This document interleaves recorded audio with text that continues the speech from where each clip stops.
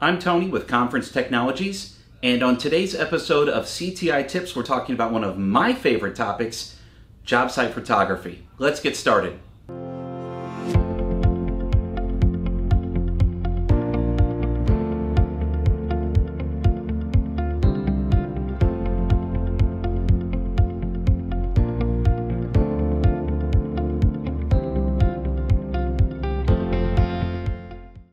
So you just finished installing a brand new system for a client. You're about to walk out the door after a job well done when your marketing department calls you asking for photos of the finished product.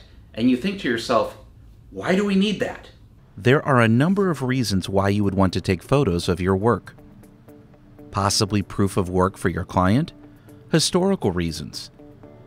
Your work might be featured in future marketing materials, or to show examples of what your company can do for future clients.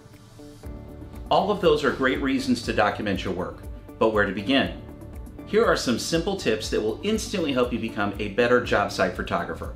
Tip number one don't be afraid of cell phone cameras. Not everybody has a Proline DSLR camera sitting around in their toolkit while on the job site. Lucky for you, cell phone cameras have come a long, long way. Cell phone cameras today are fully capable of taking a quality photo. Regardless of what camera you are taking pictures with, make sure you're taking photos in landscape rather than in portrait. Simply stated, make sure your photo is running lengthwise rather than up and down. We all expect to see selfies in portrait, but taking photos in landscape allows editors in your marketing department to maximize the amount of photo used in their promo materials. Tip number two prep your space. A messy room can't be fixed in Photoshop. Take a few minutes to prep your space for a professional photo. Align chairs and tables neatly, wipe down surfaces, and remove objects from the shot that are not needed. Tip number three avoid taking photos towards the sun. As a general rule, try to keep the primary light source behind you. As you can see here, the photo is completely overpowered by the light coming through the windows. The windows are reflecting in the TV, the sun casts a yellow tone that will have to be adjusted in post. The main focus of this picture should not be the windows, and the room in general is not photo ready. Here is the same room with the sun behind me. The focus is on the setup and the TV we just installed. There is no reflection on the TV, and the photo is much more balanced in color. Tip number four options, options, options. Take a variety of shots that shows the function of the room. Take pictures of equipment you used and how it was connected. Grab a shot of the ceiling if you think future work might be done in the space.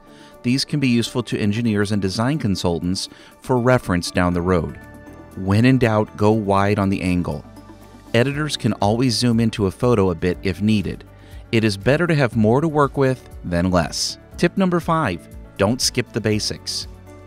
Clean your lens or the camera on your phone before taking pics. A simple soft cloth on your cell phone will suffice. Hold still when taking a picture. Blurry photos will never make the final cut of any promotional materials. When in doubt, keep things simple and clean. Tip number six guide the narrative. If you have the chance to work with a professional photographer, make sure they understand the function of the room. Overly guide them on the narrative you or the marketing department is trying to tell. Make sure they take a variety of shots. Again, options, options, options. Taking photos of your work should not be a stressful thing.